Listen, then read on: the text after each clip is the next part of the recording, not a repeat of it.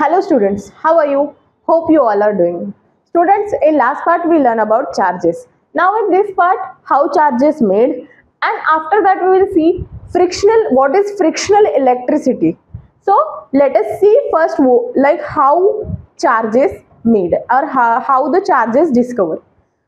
So last चॅप्टरमध्ये आपण किंवा last भागात आपण असं बघितलं होतं की चार्जेस हे दोन प्रकारचे असतात निगेटिव्ह आणि पॉझिटिव्ह. म्हणजेच काय?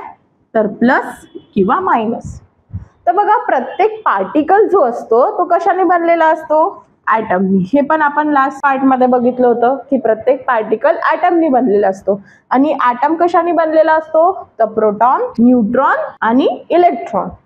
आता प्रोटॉनमध्ये पॉझिटिव्हली चार्ज इलेक्ट्रॉन म्हणजे निगेटिव्हली चार्ज आणि neutron don't have any charge तो तो न्यूट्रल असतो. बघा या पार्टमध्ये किंवा ह्या चॅप्टरमध्ये आपण हेच बघणार आहे की ॲटम जो असतो तो चार्जने बनलेला असतो. पण जेव्हा वेगवेगळे ऑब्जेक्ट एकमेकाला रिपेल किंवा अट्रॅक्ट करतात म्हणजे काय करतात? म्हणजे ते जेव्हा एकमेकाला लागतात किंवा बघा हा हात या हाताला लागला तर हि- इथला चार्ज आणि इथला चार्ज कुठेतरी याचं देवाणघेवाण होते. आता एक्झाम्पल हे दोन आहे.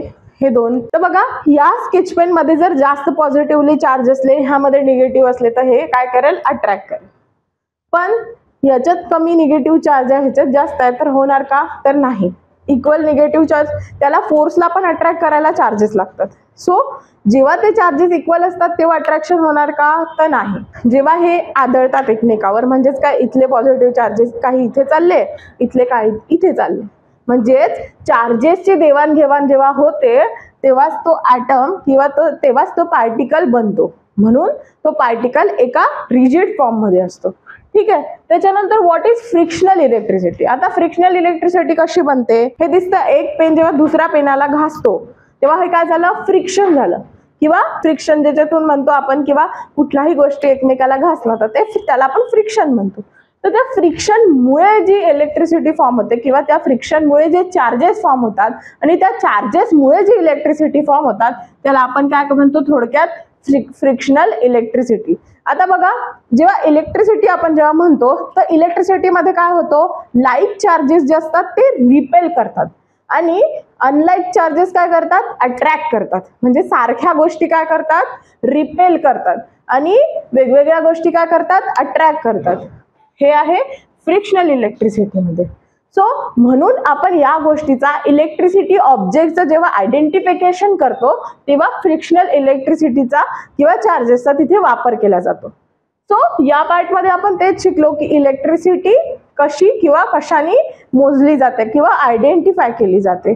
सो आपण वेगवेगळे एक्सपेरिमेंट ह्याच्यात करू शकतो. आपण जर खूप जोरात असा कंगवा आपल्या केसाला घासला किंवा कुठल्या पण गोष्टीला जसं गुलांना घासला आणि तो जर पाण्याजवळ नेला तर पाणी त्याला लागतं का? तर नाही. पाणी त्याला रिपेल करतं.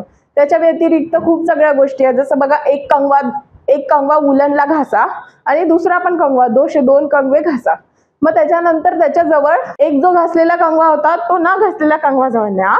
आणि मग जो न घासलेला कंगवा होता तो एका पेपर जवळ न्या पेपरचे जे लहान लहान तुकडे असते त्याच्याजवळ न्या ते अट्रॅक्ट होईल का? तर हो. तिथे चार्जेसची देवाणघेवाण होईल आणि अट्रॅक्ट होईल. अशा बघा दैनंदिन जीवनात वेगवेगळ्या आपल्या आजूबाजूला अशा गोष्टी घडत असतात.